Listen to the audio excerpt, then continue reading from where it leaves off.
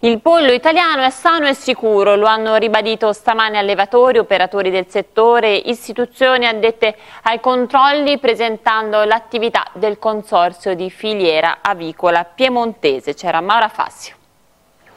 Mangiate più carni bianche, hanno meno colesterolo. Limitate le carni bianche, sono piene di antibiotici. Sul cibo i messaggi contraddittori si sprecano, ma la Camera di Commercio di Cuneo e Confagricoltura hanno invitato il consorzio di filiera per così dire a metterci la faccia, a difendere un comparto importante. 95 gli allevamenti consorziati in Piemonte, 700 gli addetti della filiera, un fatturato di 130 milioni che ruota su un prodotto, si è detto, di assoluta qualità. Ci teniamo proprio a dimostrare che il settore avicolo e in particolar modo quello piemontese è un settore all'avanguardia che rispetta tutte le leggi e che opera nel pieno rispetto del benessere animale.